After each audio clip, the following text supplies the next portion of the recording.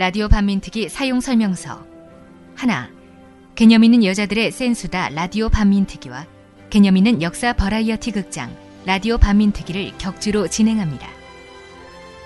둘 자라나는 청소년들과 스마트 시대에 소외되어 있는 어르신들 및 주부님들을 위해 건전한 역사 버라이어티 라디오 드라마를 준비했으니 온갖 방법을 동원해 주변의 스마트 소외 계층에게 들려주세요. 셋. 길면 5년, 죽도록 견디기 힘들 때에는 국민의 수다 코너에 나오셔서 자유롭고 세게 자신의 이야기를 들려주세요. 넷. 라디오 반민특위는 청취자들의 후원이 있는 한 진행자들이 잔금이 아닌 강금이 될 때까지 계속됩니다. 농협 352-0399-131943 강삑분 앞으로 군자금을 보내주세요.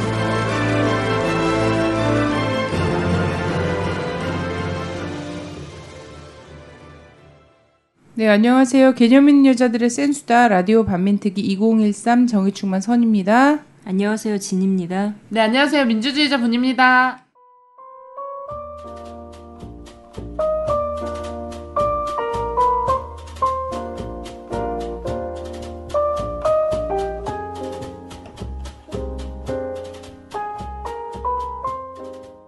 뭐 같이 왜 그렇게 얼굴 가리고 오신 한 분 또 있는데. 네, 서울로 휴가로 오셨어요, 이분이. 아, 그러니까요. 저희 라디오 반민특위 회원분이신데 이분 어디 사시냐면 거제도를 사세요. 아니 그 좋은 데서 왜 서울로 네. 휴가를 다 오셨어요? 서울로 왜 휴가를 오셨냐면은 이 촛불에 참여하시기 위해서. 아니 그래서 휴가를 촛불의 예. 바다에서 예, 아 거제도 그래서- 앞 푸른 바다가 아니라 네, 그래서 숙소를 종로에 얻고 밤마다 아, 촛불을 휴가 그 황금 같은 어. 휴가를 그래서 언제 언제부터지? 지금 며칠 되셨죠? 지금 4일째요.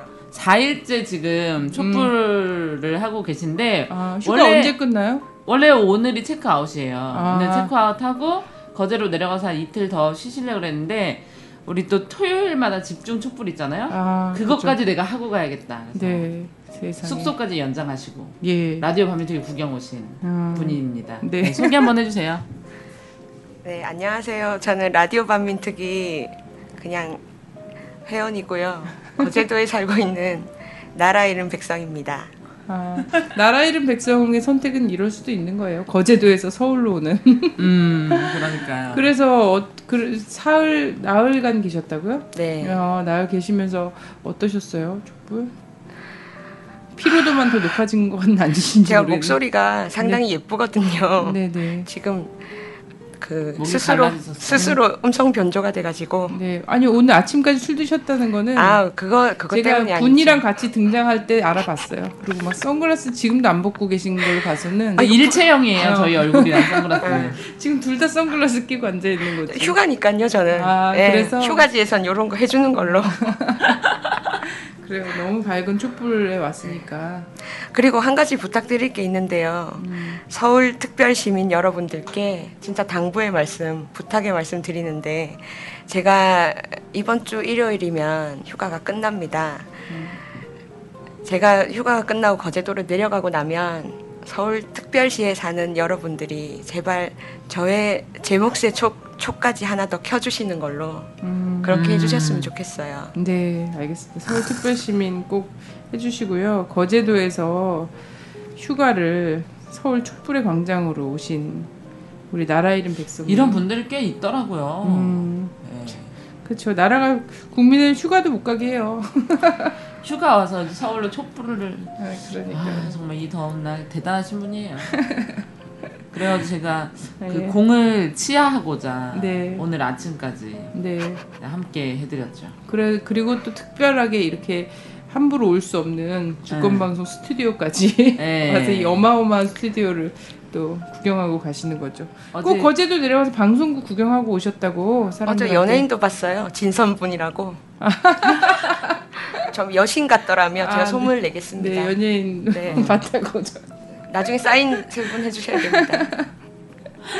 아, 저는 사인 카, 카드 결제할 때 많이 해요. 네, 우리는 휴가가 혹시라도 생기게 되면 이 전국이 좀 잘 수습되고 그러면 거제도로 가겠습니다. 예, 제가 술, 술과 고기를 준비하는 걸로.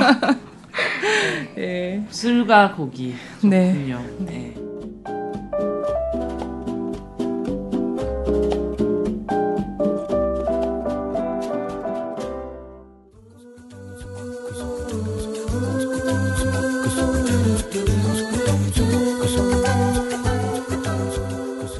아, 뭐 광고가 요즘에는 다들 이 촛불에 집중하시느라고 우리 라디오 반민특위도 좀 계속 촛불 집회를 계속 나가고 있어요. 그래서 그거를 좀 저희는 광고를 촛불 번개가 계속 집중 촛불마다 계속되고 있죠. 네, 근데 여기저기 칭찬이 아주 잦아요. 라디오 반민특위만한 카페가 없더라. 음. 깃발 봤냐, 간지가 잘잘 흐르더라. 뭐 이런 이야기들 많이 하시는데 뭐 부러우시겠죠. 네, 10일 날 집중 촛불이에요. 그래서 7시 시청 광장이니까 네, 335 시청 광장이 엄청 낭만적이지 않습니까? 네, 제 생각에 그런데 그래서 가족들과 오셔서 일찍부터 돗자리 쫙 까시고 앉아 계시면 될 것 같아요. 근데 10만이 모인다고 하니까요. 이거 좀 서두르지 않으시면 도로에 앉게 되는 일이 벌어지고요. 이날은 꼭 벌어질 것 같아요. 도로. 네. 뭐 지금까지도 도로에 많이 계셨는데 예. 네. 이날은 일찍 모이셔서 우리 단결된 또 힘을 하나된 힘을 보여줘야 되겠어요. 네. 자, 11일 날은 촛불이 없어요. 근데 없는 대신 뭐가 있냐? 예, 이거 이것도 재미납니다. 예, 국정원 앞에서 음. 아, 국정원 앞에서 이런 걸 해본 적이 있을까요? 한 번도 네, 없습니다. 처음이죠. 네. 사실 앞에서. 많은 사람들이 내곡동이라는 이름을 이명박 이명박의 내곡동 사저 그 이권 때문에 딱 처음 들어봤지 국정원 내곡동에 있었어? 이것도 그러니까 나는 잘 몰랐어요. 종로나 이런 데 있을 줄 알았어. 전 가봤어요. 그 안에. 예, 국정원 앞에서 5시에 국정원을 꽁꽁 싸매는 인간띠 입기를 한대요. 너무 재밌을 것 같아요. 그래서 11일 5시에 모여주시면 되는데 이제 국정원이 내곡동이 어디냐면 양재역이나 강남역에서 버스가 있대요. 그래서 407번, 408번, 440번, 462번을 네. 타시고 헌인릉이나 강남 서초 예비군 훈련장에서 내리시면 너무 음. 구체적인가요? 대단가요?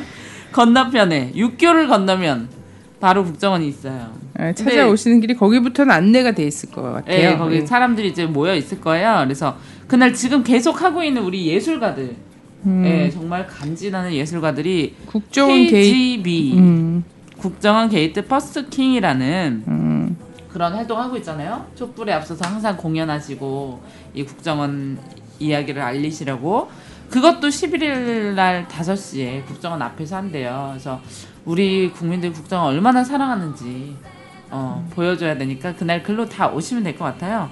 네. 예. 그리고 우리가 이제 8월 15일이 저희 또 광복절이잖아요. 네. 8월 15일을 이제 기념해야 되는데 아무래도 시국이 시국인지라 14, 15일 날 1박 2일 일정으로 집중 촛불이 있다고 하거든요. 그래서 이게 확실히 지금 어디 논의가 확실한 건 아니죠. 그래서 어 제가 이 장소와 시간은 제 트위터에 올리겠으니 저를 팔로우하시고 글로 모여주시면 되겠습니다. 네. 지령은 SNS를 통해서 음. 나가도록 하겠습니다.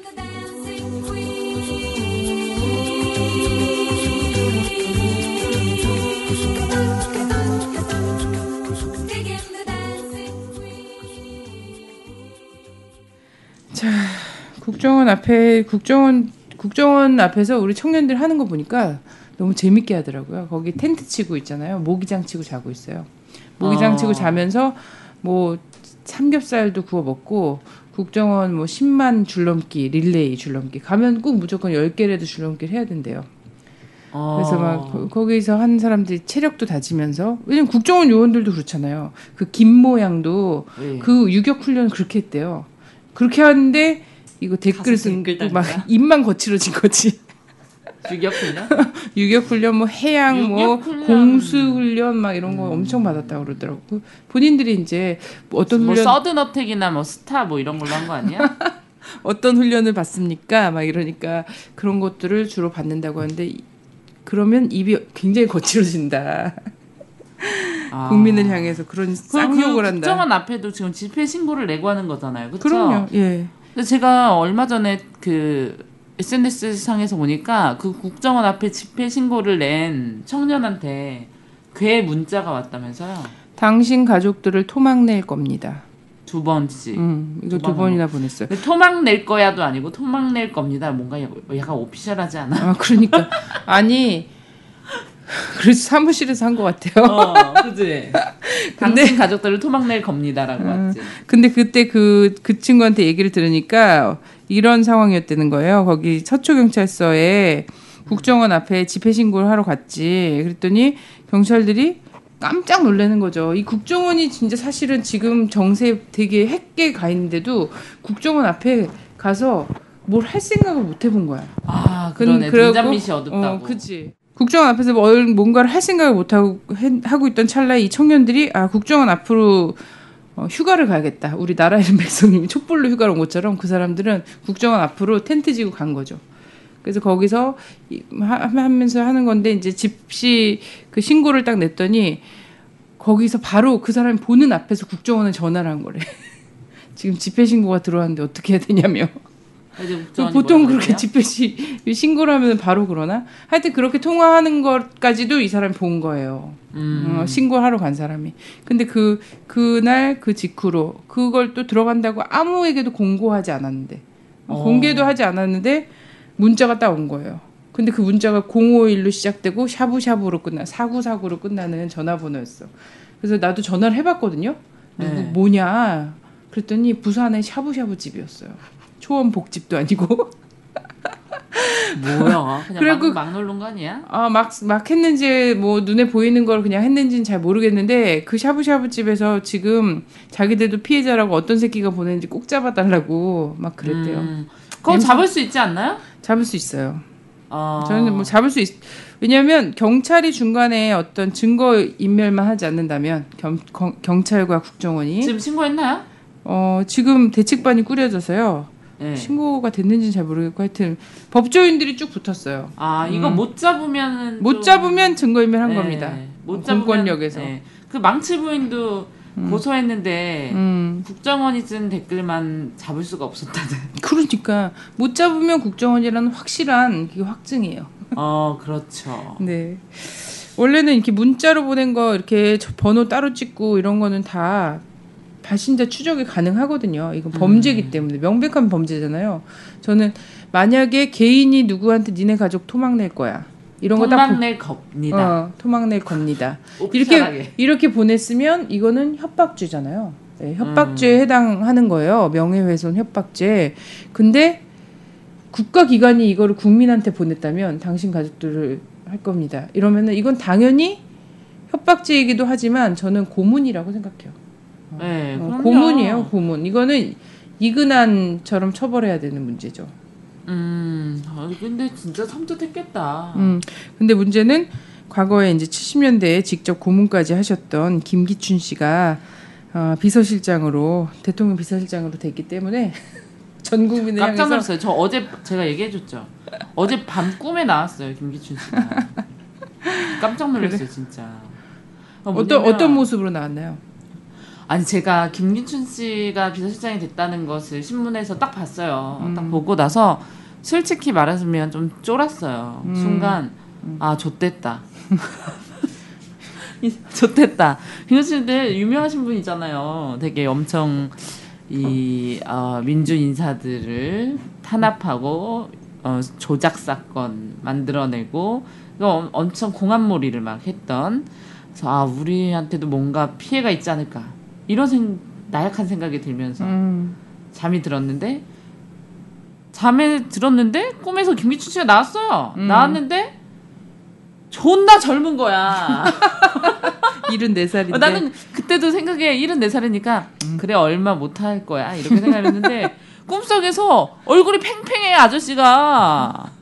그래 너무 깜짝 놀랐어. 어, 참 그래 그냥 김기춘 씨뭐 악몽이지 내가 이렇게 스트레스 받고 있나 봐 어.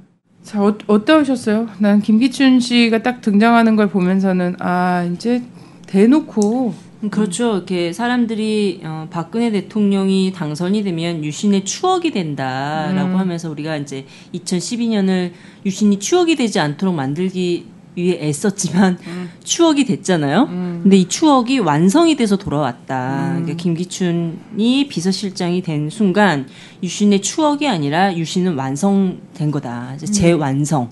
신유신이다 이런 이야기들 하고 있죠. 그러니까 아까 본님이 이야기하셨듯이 김기춘 같은 사람은 온갖 부정의 집합체잖아요.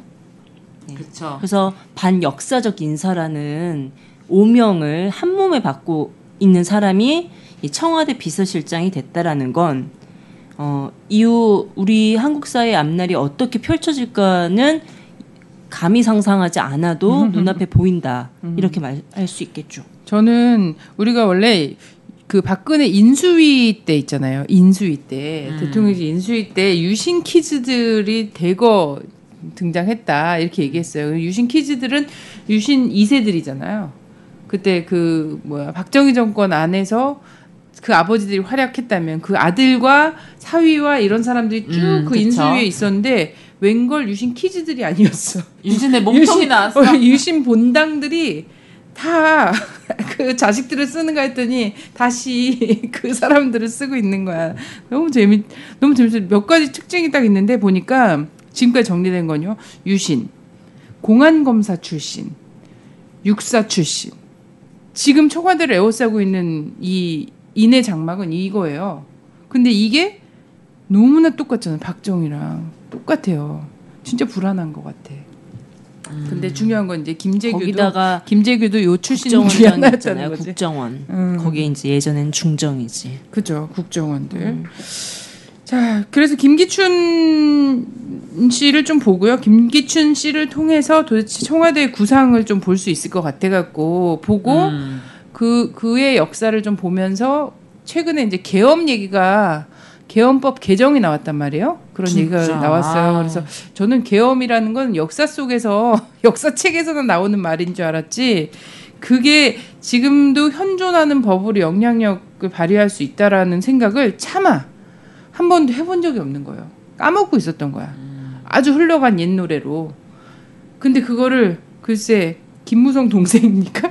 형님 하면서 저는 형님을 에게 충성을, 충성을 다 어. 이 김재원 씨가 개헌법 개정 개정이라고 들고 나왔는데 하여튼 이것까지를 좀 연결시켜갖고 도대체 이들은 도대체 어떤 세상을 원하고 그리고 있는가 이걸 좀 봐야 될 것 같아요.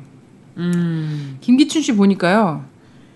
이 사람은 완전 어떻게 이렇게 출세를 빨리 했는지 잘 모르겠는데 그 하는 일을 보면 왜 출세했는지를 알 수 있죠. 아니 너무 빨리 그 아니 더러운 짓은 다 맡아서 했더라고. 예, 검사가 되자마자부터 사실상 이제 그 뭡니까 청와대를 보필하는 직으로 20대부터 다 했더라고요. 아, 그 전에 정수장학회 일기 장학생이었어요. 네. 거기서부터 시작된 거지. 그러니까 이렇게 키워진 사람이기 때문에 공안 검사가 되고 이렇게 했나 봐요. 맞습니다. 자, 유신헌법 제정할 때 신직수 법무장관 보조를 실무 보조를 했더라고요. 음, 음. 근데 그 법무장관은 음. 그냥 세워둔 거고 네. 사실 이 사람이 초안을 제정했다고 알려져 있죠. 네. 음. 근데 그때가 그러면 나이가 엄청 젊었을 때요. 엄청 어렸을 때야. 보니까 39년생이거든요. 근데 71년도 유신헌법 제정에 참여 참여를 하고 초안 작성을 했다는 거예요. 정수 장학회 일기 장학생이었으니까. 그리고 나서 74년도에 그 유경수를 쐈다고 얘기되고 있는 하지만 유경수는 다른 총알에서 맞아서 죽었다라고 지금 막 얘기가 오히려 이것이 정설이다라고 사람들한테 얘기가 많이 되고 있는데 문세광 문세광을 직접 수사를 했어요 74년도에 그러니까 이때부터 정치 조작 사건이나 이런 데는 이 사람이 걸려 있었다는 거예요 걸쳐 있었다는 얘기. 아, 음. 그리고 중앙정보부 대공수사국장 했다 그러잖아요 부장. 그렇죠. 예. 74년부터 79년까지 했더라고요. 그 중정의 대공 수사국 부장만이 아니라 중정 부장의 비서관, 음. 그 대공 수사국장까지. 음. 그러니까 수많은 간첩 사건들을 몸소 만드신 분이죠. 근데 74년도부터 79년도를 보면 어떤 때냐면 유신으로 완전 유신 그 유신이 가장 발악하던 때 때죠. 그리고 유신과 긴급 조치 시대죠. 음, 그 시대예요. 그래서 그걸로 그 간첩몰이와 총력 안보 이걸로 온, 온 세상을 휘어잡고 있을 때라는 거죠. 그리고선 79년도 박정희가 가기까지. 뭐 이런 거 아닙니까? 네, 박정희가 간 대로 끝났으면 문제 뭐 음, 덜했을지도 모르는데 이후 뭐 전두환 시대에도 김영삼 시대에도 탄탄대로였죠. 네. 뭐 강기훈 유서대필 사건의 검사 중에 1인이었던 건 분명하고 음. 또 김영삼을 대통령으로 만들기 위해서 유명한 초원복집. 그렇죠 초원복집 우리가 남이가의 주인공이잖아요. 거기서 가장 사실 92년도에 초원복집 사건을 딱 하면 지난번에도 우리가 얘기하긴 했었는데 안기부 부정선거 개입 이런 거 얘기할 때 초원복집 몰려앉은 사람들의 면면을 보면 대부분은 이 정보기관과 관련된 혹은 뭐 정부 기관과 관련된 부산 쪽 인사들이잖아요. 그렇습니다. 근데 이 사람은 법무부 장관이었다는 거. 법무부 장관이 부산 초원복집가 갖고 얘기를 했으니 사실 그 자리의 주무자는 누구인가라는 거예요. 그렇습니다. 그 초원복집 사건이 주범으로 몰려서 사실 법무부 장관 자리를 거의 떠나야 되는 상황까지 된 거잖아요. 이때 법무부 장관 좀, 어, 뭐, 93년도에, 93년도에 이 초원복집 사건이 사실 재판에 됐단 말이에요. 불법 선거, 뭐 이런 걸로. 재판에 회부되고 막 이렇게 했었는데, 이때 또 이 사람의 실력이 또 발휘가 되죠. 93년도 1월 달에 정초에 법조 그 출입 기자들 있잖아요. 법조 출입 기자들한테 어 양주 양주들인데 그 양주 종류가 뭐였지? 로얄 샬루트 어 로얄 샬루트하고 또 발렌타인 어, 다 기억이 안 나. 아니 안, 안 드시니까 전다 아. 알아요. 그래서 그래서 그런 거를 나름대로 조금 영향력 있는 신문에는 그런 두 종류의 양주를 뿌렸고 그다음 좀 급이 떨어지는 데는 인삼 세트. 인삼 세트나 시바스 리갈 이런 걸 보냈대요. 이런 그리고 아예 한겨레 같은 데는 아예 영양가 없다고 지금이면 좀 보낼 수도 있을 것 같긴 한데 영양가 없다고 안 보냈대. 근데 기자들이 그걸 거부했죠. 어, 거부하고 돌려보내고 그땐 또 이런 시대가 아니었거든. 그래갖고 그때 그때 당시 선물값으로 그 양주값으로 한 600만 원 썼다고 얘가 나오시는데 나오는데 그때는 큰 큰 돈 아닐까요? 그죠 완전 큰 돈이죠. 근데 이 사람 좀 사이코패스예요. 이 사람도 역시. 아니 근데 네. 그리고 그때 그 양주 보내고 이럴 때 나름대로 법무부 장관 하다가 옷 벗고 있었는데 또 보수 언론에서는 지금도 이 사람이 완전 왜 이회창 보고 대쪽 같다고 어, 꼿꼿 음. 꼿꼿하다고 얘기하고 김장수 보고 꼿꼿 장수라고 부르는 것처럼 좀 어, 어이가 없는 얼토당토한데 미스터 법질서라는 별명을 별명을 준 거야. 그래서 이 사람은 얼마나 완, 완고하고 그 원칙적인 사람이냐면 하면서 이, 이 일화가 있어요. 자기가 잠깐 공무에서 떠나 있을 때 암, 어땠냐면 집에서도 양복을 차려입고 있었대. 이게 정- 그리웠군. 난 정신질환 진짜 감정을 된다고 생각해. 어, 그래서 양복을 입고 안방에서 아침 식사를 하고 서재로 출근을 하셨대. 아, 그래갖고 사람들이 이거를 보수 언론에서 지금도 그때 일화를 내돌리면서 이 사람 굉장히 원칙적이고 굉장히 그런 미스터 법질서다. 이렇게 얘기를 하는 거예요. 원칙적인 사람이 남긴 유산이 참 대단하네요. 그렇죠. 이게 그래서 원칙 도대체 한국 사회에서는 원칙이 어디 있는가? 그러니까 한국 사회 보수는 도대체 뭔가 이런 거에 대한 질문을 본질적으로 던져주는 인물이 아닐 수 없어요. 그렇습니다. 예. 아니 좀 이상해. 아. 그리고 이런 사람들은 한국 사회의 이런 구조 있잖아요. 권력력 구조가 본질적으로 바뀌지 않는 한 뭐래도 해먹고 산다는 걸 나는 그 이후에도 알았어요. 초원복집 사건으로 정계를 떠났으면 또 떠나야 되잖아. 근데 그 이후에도 뭐까지 해주냐면 정말 이 사람이 도대체 뭐 해먹고 살까 걱정되는지 모르겠는데 한국 야구위원회 총재를 시켜요. 이 95년도 일인데. 그리고 96년부터 2008년까지는 삼선 의원이야 삼선 의원. 어떻게 이런 사람이 한국에서 2000년대까지 삼선 의원을 해먹을 수가 있냐는 거예요. 그리고 우리 잘 기억하고 있지만 2004년 노무현 대통령 촛불을 음. 들게 만든 사람이기도 하죠. 그때 그때 법사위원장이었어요. 국회 법사위원장. 그래고 그때 나는 사실은 모르겠어요. 강기훈 유서대표 사건 이나 칼기 때나 칼기도 또 관련 있다고 하고 문세광 사건 때나 중정에서 얘기했던 그 숱한 고문과 뭐 이런 사건 때는 내가 너무 어렸거나 태어나기 전이었거나 막 이런 예? 이런 때 태어나기 전이었던 거 하나도 없네. 그런 그런 상태였지만 이땐 김기춘 씨 얼굴 진짜 많이 나왔어요 탄핵 때. 예, 막 그때 그랬죠. 하야해야 된다고 처음으로 발언을 하고 음, 예, 자기가 막. 서류 들고 다니면서 예. 막 아, 헌재 찾아가고 막 이런 거 이 사람이 다 앞장서서 막 했었거든요. 좀 이상하세요. 그리고 좀 이 미스터 법제일서신데 약간 인권 의식이나 음. 법에 대한 개념 상당히 떨어지세요. 네, 그, 그 네. 법에 대한 개념은 유신헌법에만 있어요. 내가 아. 보기에. 유신헌법과 국가보안법만 이 사람한테는 법이야. 그래서 국가보안법 그 수감자들은 변호사 접견을 제한해야 된다는 음. 그런 법 개정을 하려고 했었다는. 그러니까 앞으로 나는 청와대가 무슨 일을 할지가 이 사람이 아니 나는 그래서 그 이후에는 약간 정치 어떤 거에만 좀 관여하고 있잖아요. 원래는 예전에 이제 중정 대공수사국 그 실무자나 부장이나 국장 시절에는 사실 민간에서의 통일운동이나 이런 데를 다 간첩단으로 조작하거나 아니면 고문하거나 이런 걸 이 사람이 했던 건데 그래도 그 이후에 법무부 장관도 하고 이랬으니까 요런 거엔 좀 손 뗐을 거라고 생각했거든요. 근데 웬걸 2005년에 강정구 교수가 이런 얘기를 한 적이 있어요. 북에서 어 한국 전쟁을 한 것은 어 그것이 판단 착오일지 모르지만 어쨌든 통일 전쟁을 하겠다고 한 거다라는 의미로 얘기한 적이 있어요. 그러니까 뭐통 의도는 무슨 침략 전쟁이나 이런 거라기보다는 이 전쟁을 통해서 통일을 하겠다고 한 거고 근데 그게 판단 미스였다라는 식으로 강정 교수님이 얘기한 적이 있거든요. 저는 학자로서 나올 수 있는 얘기라고 생각해요. 그리고 사실상 베트남 전쟁이나 한국 전쟁을 보면서는 많은 외국의 전문가들도 이 전쟁의 성격이 뭐냐라는 거에서 굉장히 많은 분분한 의견들이 있거든요.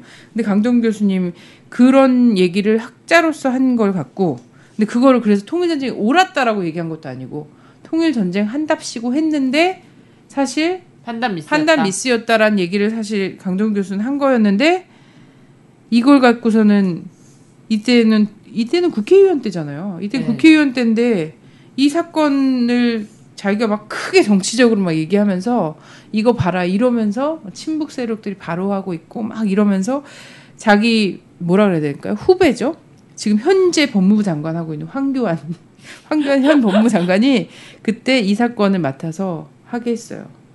그래서 이 수사 지휘를 황교안 현 법무장관이 그때 당시 검사로서 막 했었는데 이거를 하게 한 사람도 김기춘 씨라는 거예요. 그러니까 2000년 중반 이후에 2000년 6.15 이후에도 계속해서 이 70년대 중정 대공 수사국에서 했던 그 오래된 버릇을 버리지 못하고 국회의원 자리에서도 그 지, 지도를 다 하고 있었다는 거예요. 엄청 그 싫어하잖아요. 음. 진보 세력들을 김기춘 씨 엄청 싫어하세요. 그럴 수밖에 없어요. 아주 아주 강도 높은 발언만. 어, 왜냐하면 했었죠. 70년대 이 74년부터 79년까지 중정에 있으면서 이 사람에게 직접 고문 당했다라고 얘기하는 사람이 지금 살아계신 분들이 있어요. 어. 간첩단 사건 조작하는 과정에서 그런 경우. 근데 그 사건들이 지금 대법원에서 어떤 판결들이 나고 있는 거는 다 우리가 알고 있는 사실인 그렇죠. 거죠. 그리고 사실 91년도 강기훈 유서대필 사건 같은 경우에도 이때 당시 법무부 장관이었잖아요. 법무부 장관이고 근데 유서대필 사건이 사실 조작이다. 이 사람이 억울하게 옥살이 한 거고 이게 다 밝혀졌고 이분은 지금 응? 가남 이런 이런 상태인데 전 진짜 그래갖고 제가 범죄자잖아요. 왜 트윗에 날렸어요. 강기훈 씨한테 사과는 했냐 이러고서 날렸거든요. 아 이 사람들 직접? 김기춘? 아니 응. 김기춘 트윗 하겠어요 이런 사람들이 트윗 안 할 거라고 아, 생각하고 악마의 악마의 계정이 계정- 생각할 거야. 계정이 100번은 깨질 거라고 생각하고요. 김기춘 씨가 강기훈 씨에게 사과는 했는지 제대로 사과는 한번 했는지 궁금하다 이렇게 썼던 사람들이 말도 되지 않는 호기심이라면 나한테 그럴 리 없는 너무 사람들입니다만 판타지 소설인데요, 그건?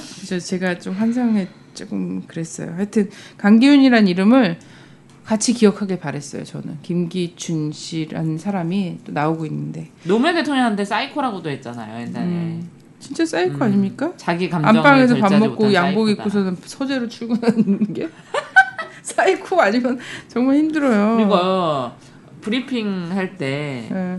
이번에 이렇게 얘기했어요.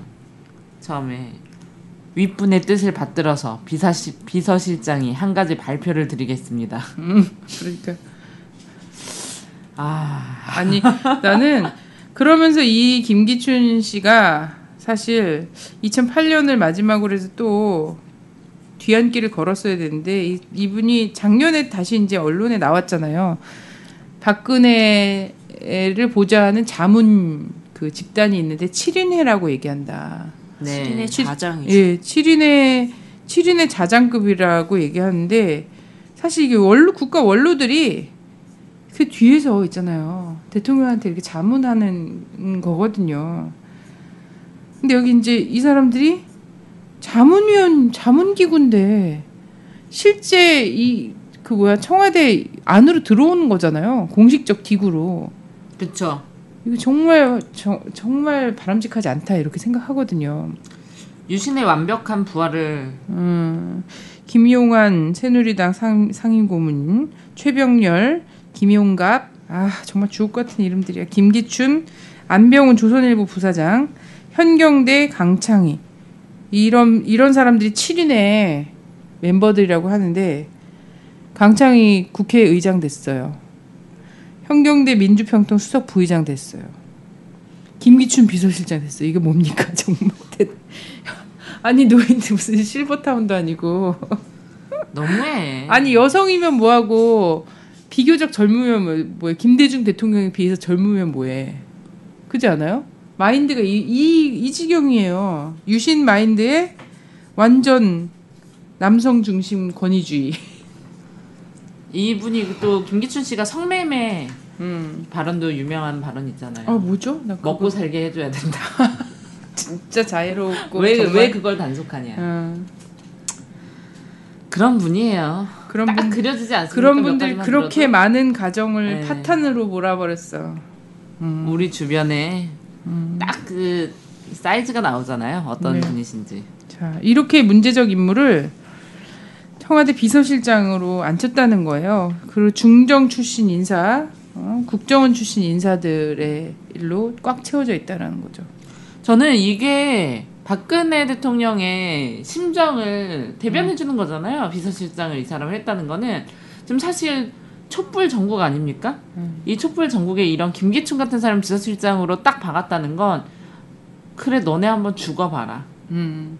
아 지금 뭔가 부지런히 뭐 만들고 있다, 만들고 음. 있는 거예요. 지금 뭔가 조직 사건 이 사람이 지금 그때 당시 유신 말기, 그러니까 유신 말기라고 할 수는 없죠. 하여튼 박정희 말기죠. 71년부터 71년이 그래서 그 말기 권력 누수를 느꼈기 때문에 유신이라는 거를 긴급하게 마련을 해서 거기에 기대고 음. 온갖 악법에 기대어서 나간 거였는데 그때 써먹었던 수법들을 지금 다 쓰고 싶은 거예요.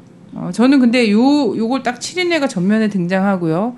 옛날 유신 시대 때 인물들이나 아니면 국정원 전신과 국정원 관련 인사들이 쭉 그 권력의 최전선으로 쭉 배치되는 거 보면서 어떤 느낌이 딱 드냐면요. 아, 지금 현재 새로운 그룹에서 신생 그룹에서 박근혜 사람이 없구나. 박근혜가 믿는 사람이 없구나. 있을 수가 없겠죠. 이런 사람들이 되게 권력에 대한 집착 심하잖아요. 음. 절대 이 그 자기네가 이렇게 하지 새로운 사람들을 붙이지 않을 거예요. 그리고 전 또 어떤 게 보이냐면요. 박근혜 좀 약간 태생적인 두려움이긴 한데요.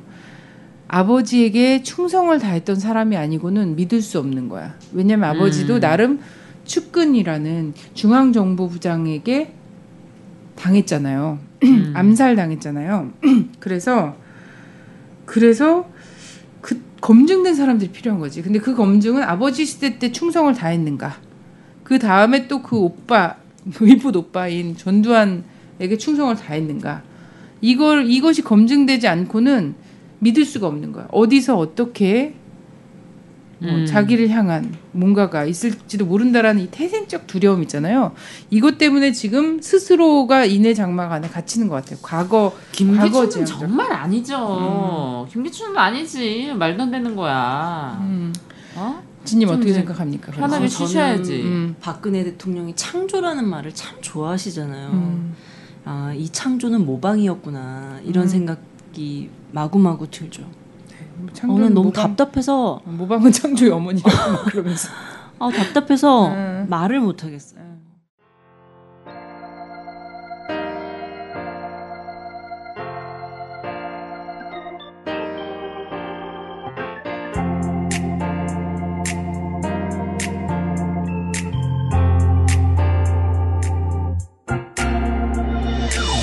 웬만하면 신경 끄고 살려고 했지 열내봤자 나만 손해인걸. 적반하장 후안무치 범죄공화국. 아무런 희망이 없는 걸. 하지만 아무래도 이건 아니야. 해도 해도 너무 하잖아. 민주주의 평화 통일 다 죽어간다 이대로는 놔둘 수 없다 자, 다시 한번 해보는 거야. 자, 다시 한번 싸우는 거야. 자, 손 맞잡고 어깨를 걸고 우리 함께 이기는 거야. 촛불 들고 모여봤자 뭐가 바뀌나 그런 생각 들기도 하지. 모난 돌 정 맞는다 나서지 마라. 친구들도 나를 말리지. 하지만 아무래도 이건 아니야. 해도 해도 너무 하잖아. 민주주의 평화 통일 다 죽어간다 이대로는 놔둘 수 없다 자, 다시 한번 해보는 거야. 자, 다시 한번 싸우는 거야. 자, 손 맞잡고 어깨를 걸고 우리 함께 이기는 거야. 자, 다시 한번 해보는 거야. 자, 다시 한번 싸우는 거야. 자, 손 맞잡고 어깨를 걸고 우리 함께 이기는 거야. 자, 자, 다시 한번 해보는 거야. 자, 자, 다시 한번 싸우는 거야. 자, 자, 손 맞잡고 어깨를 걸고 우리 함께 있는 거야. 자, 자 다시 한번 해보는 거야. 자, 자 다시 한번 싸우는 거야. 자, 자 손 맞잡고 어깨를 걸고 우리 함께 이기는 거야.